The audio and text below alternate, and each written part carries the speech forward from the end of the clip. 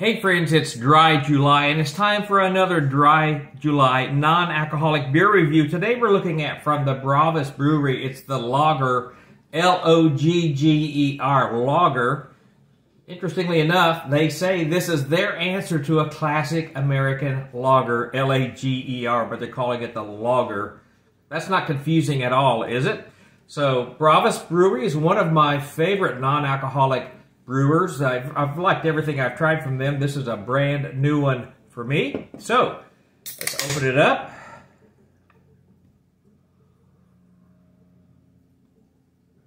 Not a lot of aroma on this one.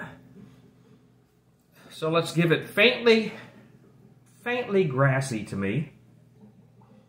And again, everybody's palate and nose is a little bit different, so you may smell something different than what I do. But let's give it a pour.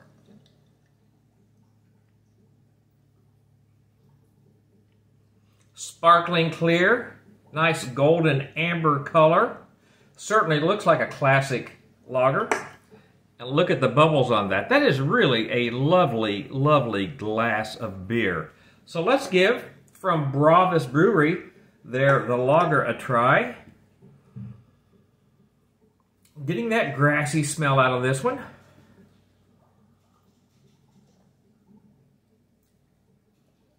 Oh, I like this.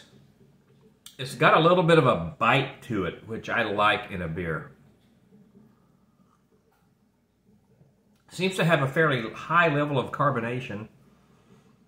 Interestingly enough, since I'm saying I'm getting a little bit of a, a grassy aroma nose, I'm not picking that up in the taste. It's really, really crisp. It's got a great mouth feel. It's not sweet, but the bite and the texture reminds me a little bit of a, of a high quality cider. I like this a lot. And on a hot summer day like we've been having here in Indiana, this is really, really refreshing.